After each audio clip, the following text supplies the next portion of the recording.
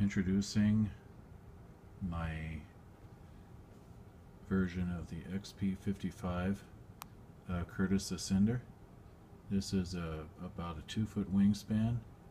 Uh, I designed it myself. Um, it's a canard version. It's got an airfoil on the canard. This one has landing gear. Um, pusher motor,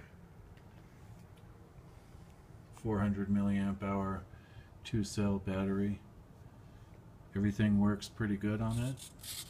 Took quite a bit of work to work on this linkage, but uh, I've got it on the finest setting on the Dymond D47 servo that's powering it. I've got ailerons on it. As you can see, they're they don't move excessively because I don't want this to be a real speedy or tricky flyer at all.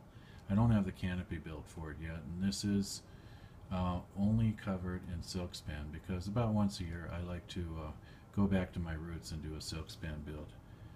Uh, seems to track okay.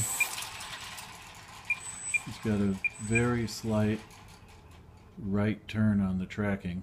Not exactly sure why that is.